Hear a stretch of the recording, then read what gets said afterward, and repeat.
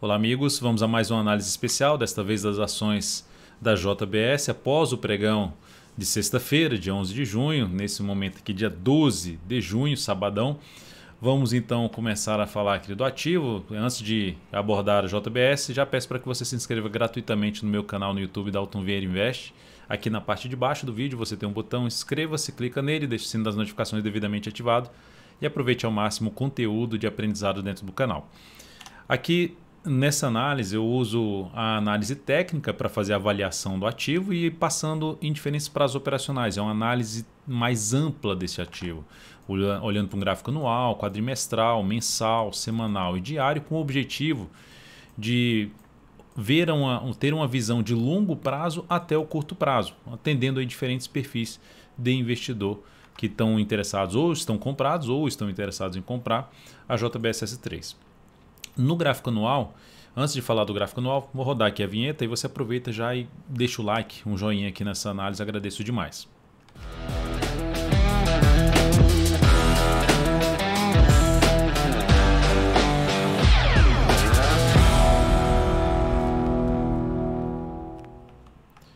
Então vamos lá, começando pelo gráfico anual, temos uma tendência de alta. Aqui está a tendência de alta, topos e fundos ascendentes, isso é uma característica de uma tendência de alta.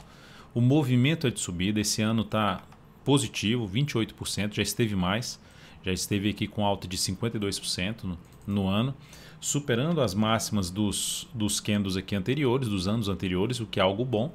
Então, dentro ainda desse ano, se acontecer movimentações para baixo, vai ficar mais com esse cenário que eu estou descrevendo no gráfico anual, mais para se buscar operação de compra. Faz sentido? Eu vou comprar um pouquinho aqui agora? Ainda faz, até que o mercado mostre, por exemplo, uma sinalização negativa. Se fosse olhar só para o gráfico anual, onde cada barra dessa aqui representa o comportamento do preço no decorrer de um determinado ano, seria só no ano que vem uma possível saída se perdesse a mínima desse ano. Pensando no longo, longo prazo de ficar mais, de, mais dias, não, mais candles aqui posicionado, mais anos posicionado em JBSS3. No gráfico quadrimestral, a ação também está dentro de uma tendência de alta, ou seja, no longo, longo prazo a ação também tendência de alta, dentro de um movimento de subida, quebrou aqui a sequência de máximas descendentes neste candle aqui, já fez um pivô de alta que criou uma expectativa de se ter algo mais para cima. Se eu pegar, por exemplo, a projeção de alta desse pivô que foi gerado, pegando principalmente a a projeção com base na retração, na correção do movimento, no movimento aqui de baixo, o objetivo de alta, de acordo com a primeira projeção de Fibonacci, que é 61,8% deste movimento aqui, ou seja, disso aqui tudo, projetado esse, esse valor até aqui, a gente teria 39,44 como objetivo de alta. E depois disso, se projetar todo esse movimento de subida a partir dos 12,91, a projeção lá em 77,20. Mas dá para trabalhar aqui olhando primeiramente para os 39,44 até que o mercado mostre o contrário disso aqui, de contrário de quê? De que mudou aqui a, a o, o, movimento, pelo menos, né? Ou seja, qual o sin, sinal que muda o movimento, o mesmo que eu comentei no gráfico anual, perder a mínima do que no anterior. Cada, cada barra dessa aqui, cada candle desse aqui, representa 80 pregões, 80 dias úteis aqui no ativo.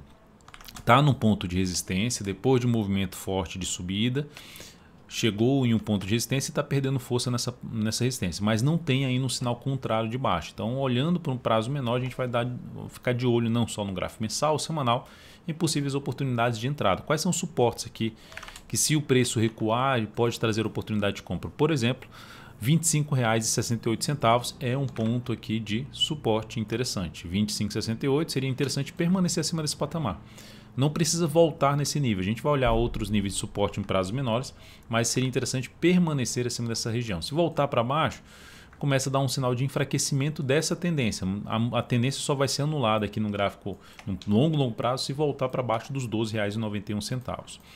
No gráfico mensal, o ativo também está dentro de uma tendência de alta, pegando os últimos movimentos.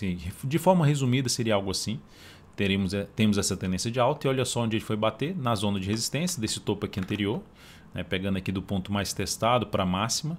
Então isso aqui seria a zona de resistência do ativo, que já testou por três meses consecutivos e está com dificuldade de permanecer acima dessa região que vai de R$ 31,00 até R$ 32,40. Já tem aqui uma confirmação de baixa, ou seja, de quebrar a sequência de mínimas ascendentes, de mudar o movimento de de alta para um movimento de baixa, aqui está um movimento mais lateral nesse momento, mas de ter a característica de movimento de baixa seria quebrar a sequência de mínimas ascendentes. Ainda não. Mínima aqui 28,99, que foi a mínima do mês de abril. Mês de maio fechou, a mínima foi 29,01 e esse mês está aqui em R$ 29,06. Quebrou essa sequência, estabelece sim um movimento de queda que traz a chance de a gente olhar o que para correções, para pontos de suporte e avaliar a compra nesse ativo através de quê? De um fundo ascendente no gráfico mensal. Superou a máxima do que no anterior, seria a alternativa de compra aqui nesse papel, tentando pegar o próximo movimento de subida. Qual então o primeiro ponto de suporte? R$ 27,37.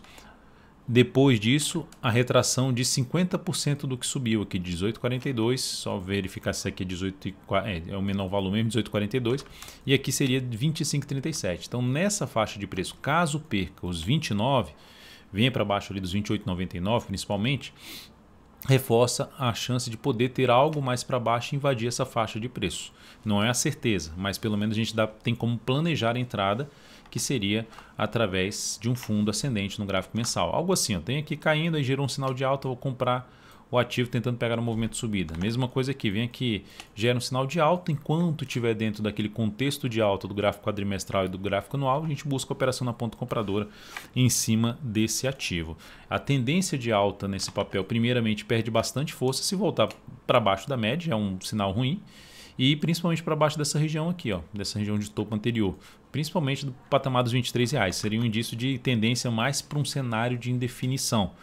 E perde totalmente se ocorrer a perda desse último fundo ascendente aqui, que está na casa dos 18,42. JBSS3 no semanal.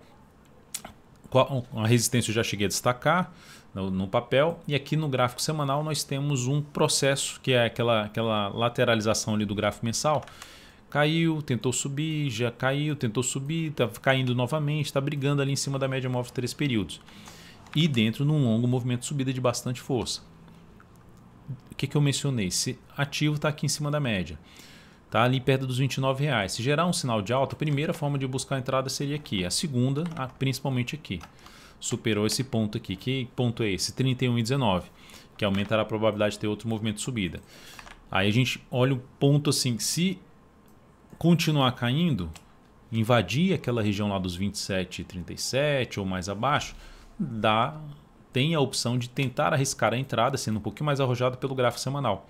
Entrada pensando no médio para longo prazo, pelo gráfico semanal, para tentar pegar todo um processo de recuperação.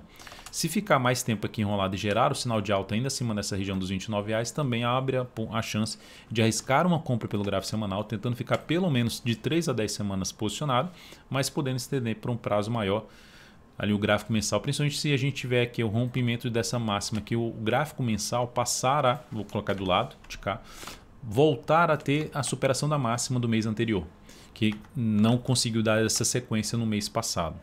Então o papel está dentro também de uma tendência de alta no gráfico semanal, aqui está a tendência de alta no gráfico semanal, faz aqui todo um processo de correção e expande aqui para cima. Então agora está no processo de correção, expansão, correção. Agora aguardando mais uma sinalização de alta para uma compra, pensando aí em position trade, por exemplo, pelo gráfico semanal.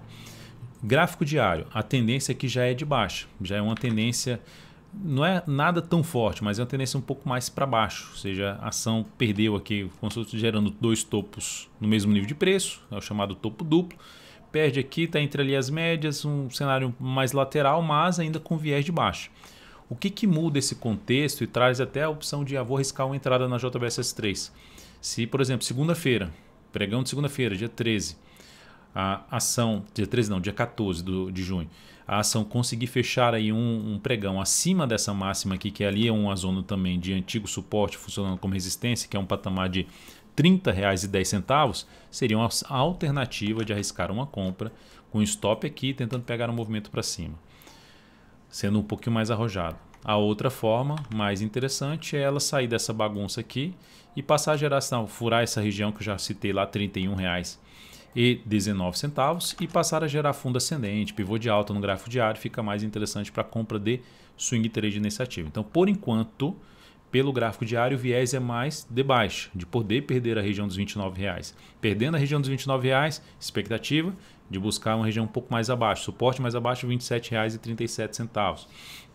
E aí nessas faixas de preço, a gente monitora principalmente aqui a, essa região que já é um patamar de resistência, dá para perceber aqui, ó, esse fundo, passando por outro fundo aqui, olha como já tem dificuldade de permanecer acima dessa linha, de fechar um pregão acima desse patamar.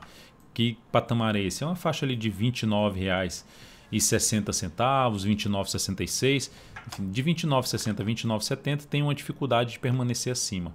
Por isso que eu mencionei um fechamento mais forte aqui para cima, seria um primeiro registro no gráfico ou rastro no gráfico que representa força por parte dos compradores, que isso não está acontecendo nesse momento. Então, por enquanto, ainda apontando um pouquinho mais para baixo essa ação. Dá para monitorar também, vou colocar aqui uma linha de tendência de baixo, verificar se vai ser cortada, o que vai aumentar é mais uma sinalização de mudança de tendência. Enfim, há diversas formas de a gente monitorar o registro de força por parte dos compradores, o rastro de força por parte dos compradores, para que a gente possa atuar na compra no momento que já tiver um indício maior de poder ter a subida do preço da JBSS3. Curto prazo, viés de baixa, gráfico semanal dentro de um processo ainda de correção sem sinal de alta, mensal podendo estender um pouco mais a correção depois desses seis meses basicamente de subida. Então tem uma chance de poder ter alguma correção um pouquinho maior e ficar de olho nesse suporte aí na faixa dos 29 reais. É isso, amigos. Muito obrigado por sua valiosa atenção. Lembre-se de deixar seu like, seu joinha, se essa análise especial foi útil para você de alguma forma. Um grande abraço, um excelente final de semana e até a nossa próxima análise.